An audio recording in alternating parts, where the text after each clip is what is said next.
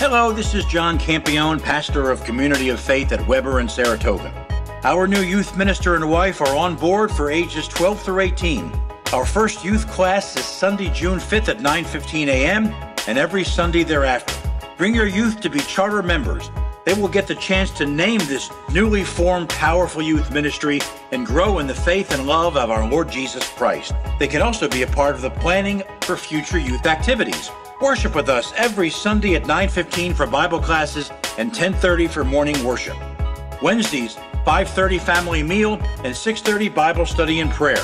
Go to our website wearecommunityoffaith.org for all other activities. We are at 6606 Weber Road, next to Taco Bell. Ding ding.